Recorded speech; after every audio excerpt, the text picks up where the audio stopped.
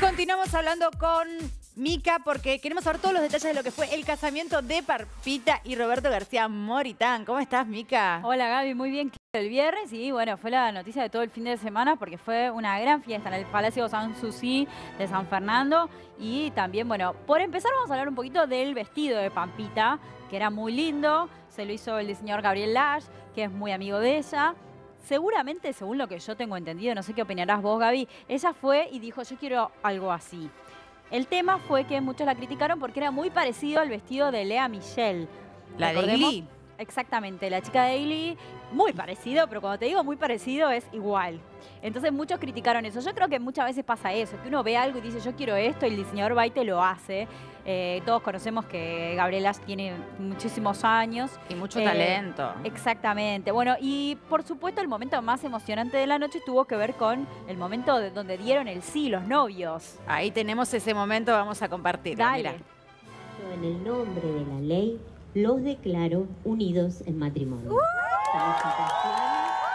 Recordemos que ellos habían hecho la ceremonia civil dentro del Palacio Sanssouci. Bueno, ahí ya estamos viendo la fiesta.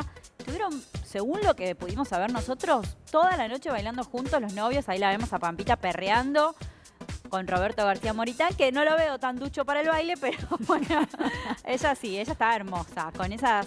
Em, para el momento del baile se sacó, se, sacó, el rodete y el pelo suelto, se relajó, pero no ah. cambió el vestido en toda la noche. No cambió el vestido, ahora se usa mucho como hacerle alguna modificación al vestido, algunas también, como vos decís, se lo cambian.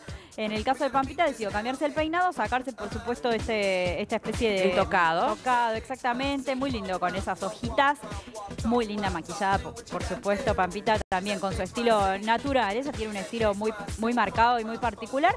Me sorprendió un poco que el vestido haya sido tan, eh, digamos, eh, voluptuoso, con tanta tela, porque me imaginé algo más lánguido, pero no. claro, más al estilo de ella, ¿no? Que es este, a lo que nos tiene acostumbrados en realidad. Así es, pero bueno, se animó algo con muchísima tela, eh, también un escote muy sexy también. Bueno, y en un tono, no, es, exactamente blanco, pero es un tono, bueno, hay, muchísimos tonos de blanco, no, no sabría decirte cuál exactamente, pero un tono muy cercano al blanco. Sí, lo que sorprendió también fueron las damas de honor de negro. Así es, las damas de honor que fueron 30, sus amigas, que llegaron desde todos lados, no solo de Buenos Aires, sus amigas las que conocemos, Barbie Simon, Sanji Balbiani, sino también amigas chilenas, por ejemplo, que vinieron desde su, de, su paso, obviamente, por Chile de Pampita, sus hijos también nacieron allí, eh, y de negro, sí, tenés razón, eh, que también en algún caso se confundían con algunas de las demás invitadas, porque ir de negro a un casamiento es lo más normal del mundo. lo típico. por eso es que en realidad se usa elegir un color lavanda, que es un color que en general nadie va a ir de ese color. Pero bueno, Papita eligió eso, vas a saber por qué. Eh, quizás para, para solucionarles un poco, o porque quizás las amigas preferían ese color y les queda lindo a, todos. Bueno, ahí vemos imágenes de la boda, de la intimidad de la boda, las palabras que se dijeron. El lugar impresionante. No, el lugar es bellísimo. Ahí lo vemos al pequeño, al más chiquitito de Pampita Benicio, que fue el encargado de llevar los anillos. Tiernísimo, la verdad. los, hijos de ambos. Los hijos de ambos y los tres de Pampita. ahí los vemos. Un amor a los tres con el smoking. Y cancheritos con las zapas. Sí, no.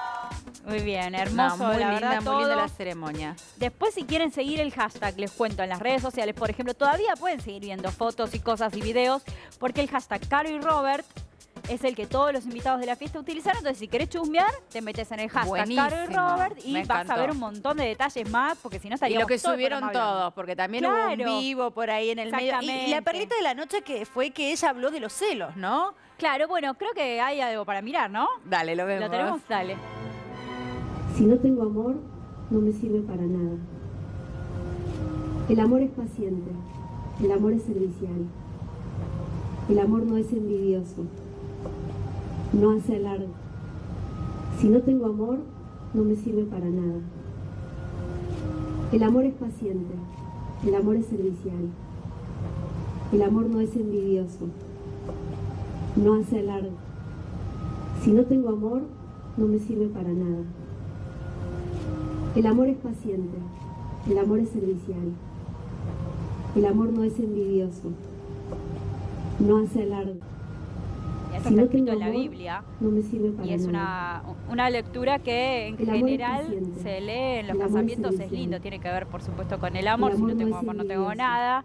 eh, y es muy clásica de los casamientos, a pesar de que ellos no hicieron una celebración no me religiosa, decidieron leer esta parte eh, que tiene, tiene que ver con eh, un pedacito de la Biblia también, como para darle un, un cierre y, y algo relacionado un poco también con la Si no fe y con una bendición. no me sirve para. Así que ahí vemos también cuando Qué llegaban. momento, no, fue muy lindo. Hermoso, hermoso. La verdad que ese lugar es, es No, es espectacular soñado, para es eso, soñado. para un casamiento divino.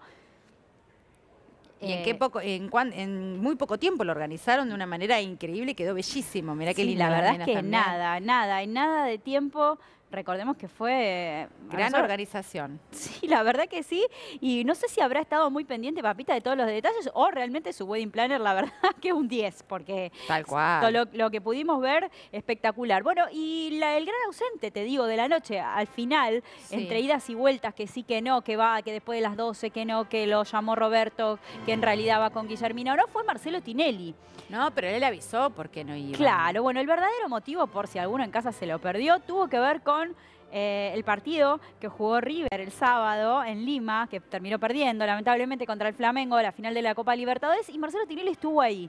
Eh, estuvo en un, en un evento especial organizado por Conmebol.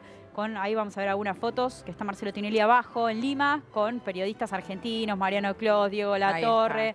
Demás exjugadores, Oscar Ruggeri creo que anda Y por ahí. disfrutar de la buena comida de, de Perú. De Perú, ahí está disfrutando, claro. Marcelo dijo, mejor me voy a Perú. Claro. No nos trajo mucha suerte, Marcelo, los hinchas de River. Después vamos, vamos a charlarlo con Marcelo, eso. Sí, hay Pero- unos cuantos hinchas que no tendrían que haber ido para. Sí, bueno, ahora... Bueno, pero bueno, ahí la estuvo pasando muy bien. Mirá qué linda ubicación Pero que le dieron estuvimos a ahí. Mica. ¿Qué va a hacer? Bueno, Sí, estuvimos, estuvimos ahí. estuvimos pero bueno. cerquita, Eso es lo importante. Vamos a ver, si no vamos a ver, si San Lorenzo juega una final de algo, vamos a ir a ver nosotras a ver si le traemos suerte o no a Marcelo para devolver. Uh, no me quiero meter en ese terreno, te digo. Gracias, No, Mica. En un ratito Marcelo. seguimos charlando. Vamos a continuar nosotros hablando de Luna